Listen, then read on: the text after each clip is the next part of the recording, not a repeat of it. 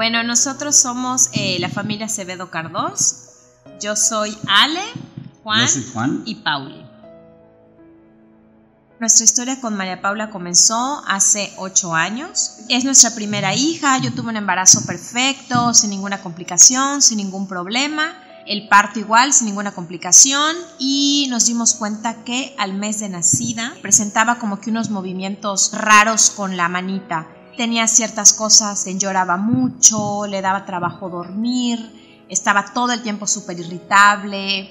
La llevo una cita a la pediatra, le va checando los reflejos y bueno, la niña ya no tenía reflejos. Eran convulsiones y que la teníamos que hospitalizar porque creía que tenía un edema cerebral porque no tenía ya reflejos ni nada. Le diagnostican epilepsia, pero estaban tratando de encontrar cuál era el origen de, de- de la epilepsia que no se podía controlar. Y la niña convulsionaba 250 veces al día, For the first two years of Maria Paula's life, the Acevedos saw almost all of the neurologists in Merida, trying to find the origin of her epilepsy and trying to control her constant seizures. Estuvimos probando diferentes este, medicamentos, prácticamente probamos Pues bueno, de una amplia gama, ¿no? Desde para niños hasta adultos. para adultos, en combinación también. En combinaciones, este, en altas dosis. Cada vez que él subía la dosis, a la niña se la hospitalizaba. La tenía demasiado sedada, me daba ribotril. Es un medicamento que la tenía dopada 24 horas al día. Hasta Que logramos una estabilidad, este, prácticamente fue como hasta los dos años. Fue que pasamos con la doctora Julia. Y la doctora Julia, la llave principal con Pau, le quita el ribotril, quitó medicamentos que le estaban perjudicando, le puso dosis adecuadas, empezó a controlar los medicamentos. Ella empieza a usar las combinaciones y establecer horarios. Pero eh, a fin de cuentas son medicamentos que hay que estarle controlando el riñón, hay que estarle controlando lo que son las plaquetas, el hígado, todo, todo eso a fin de cuentas tiene un impacto en su organismo. Pasó con todos. Tomó medicamento para adulto, que terminó hospitalizada María Paula.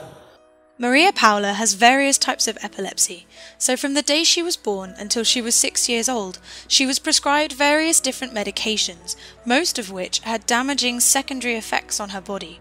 After two years of going through grueling treatments, her parents were advised to stop searching for the answers and to just focus on controlling the seizures. No lográbamos esa estabilidad que nosotros queríamos tener con ella. Y no dormía, o sea, no dormía, o sea, de repente eh, nos empezamos a dar cuenta que el- la noche, las horas de sueño de Pauli eran súper poquitas. Nunca se me va a Entonces- olvidar ese fin de semana, un viernes. Así de que llegas a tu casa, que listo, vamos a descansar. Viernes en la noche la niña no duerme. De ese viernes que se arrancó, al siguiente viernes durmió. Ahora sí que es muy trillado, pero es calidad de vida. Calidad- o sea- calidad de vida. O sea, para ella, para ella, para nosotros. O sea, yo no me podía ir a trabajar y estar concentrado en mi trabajo porque estoy pensando en mi hija, en mi hija, en mi hija, en mi hija, quiero que esté bien, quiero que esté bien. Ella pensando que duerma y la otra diciendo, quiero dormir.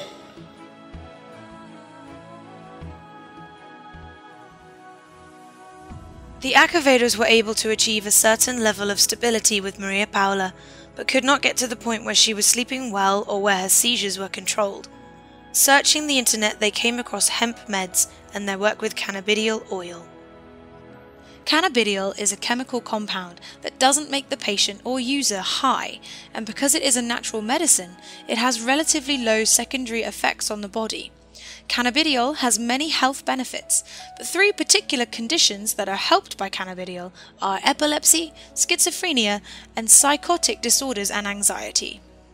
De pronto vemos un día un reportaje en la tele donde estaba hablando Raúl Elizalde, el papá de Grace, que es la niña de Monterrey, que es la primera que le conceden el, el- amparo para tomar el CBD en México, y está explicando el caso de su hija y todo esto, y que estaban en un proceso del amparo.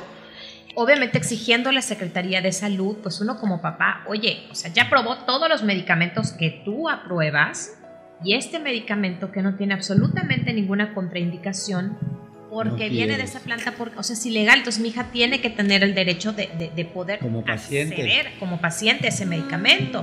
Si eso le va a mejorar la salud, o sea, la salud es un derecho es de un todos. derecho, claro.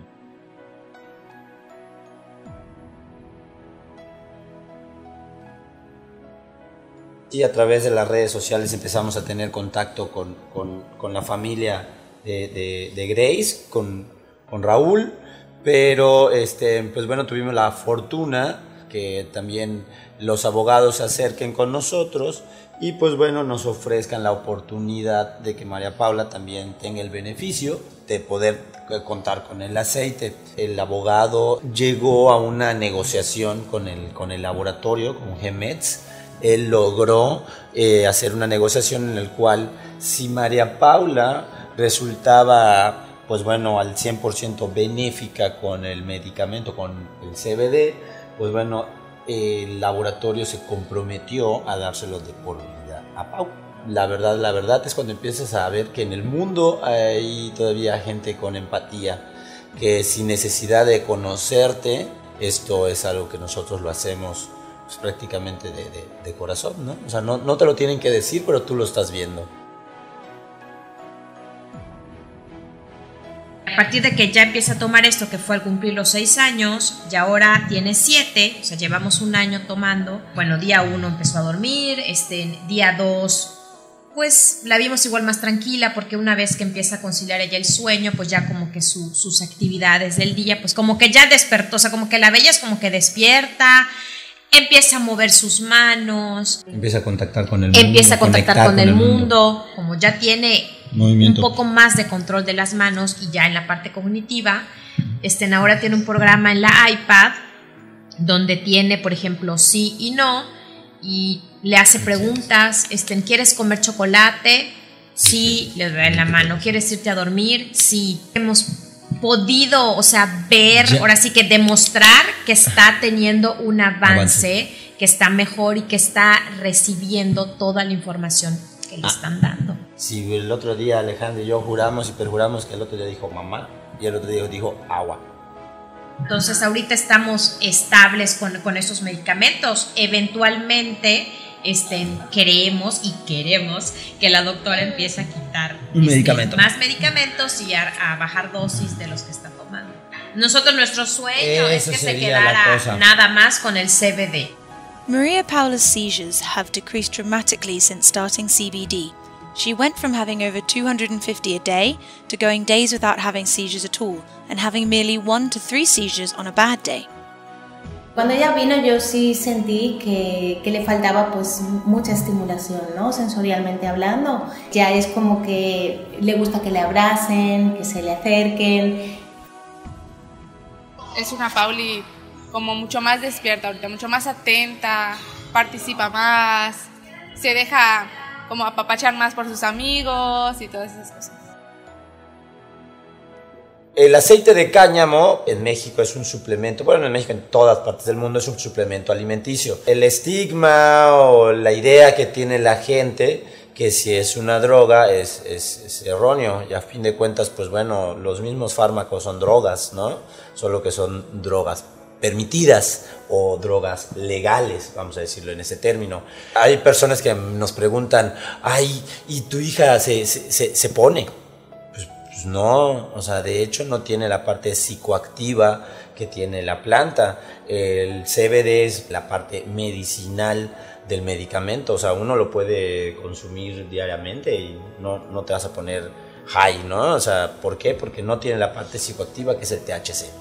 Eh, en México se está permitiendo la introducción de, del aceite de cáñamo, solo eh, que sea puro CBD o que, no contenga más de 0.1% de THC. Eh, hoy por hoy Gemets es el que está pues dando el servicio aquí en México y pues bueno, es un, suplemento alimenticio, no es droga, no es el, el, estigma o la idea que tengan, o sea, la verdad es, errónea, ¿no? Nuestra vida ha cambiado, la verdad, muchísimo. Desde que empezó a tomar este, Pauli el CBD, este, pues obviamente ella mejora, mejoramos todos. Este, ella empieza a dormir, empezamos a dormir, como que empezamos a tener como que esta parte de, de disfrutar el día a día. O sea, María Paula tiene un año que no ha pisado un hospital. En una ocasión Alejandra me preguntó que qué es lo que me hace feliz. ¿Qué es lo que me hace feliz? Que ustedes sean felices. Y si Pau tiene salud, yo estoy feliz. Ya es una convivencia familiar eh, sin, sin preocupación. La unión familiar nos vino a cambiar por completo un medicamento. Oye, cuéntanos qué comí. Oye, ¿cómo Oye. se llama tu hermana? Pau, Pau. Pau. ¿Y tú cómo te llamas? María, José María, ¿qué? Ah, Acevedo Cardos. Ok. Oye, ¿cuántos años tienes? Dos. ¿Dos? ¿Y tu mamá cómo se llama? oye, Ale. ¿Y tu papá? ¿Y tu papá? An, Juan. Muy bien. Dame cinco. Uy. Oye, ¿y los supositorios dónde se ponen?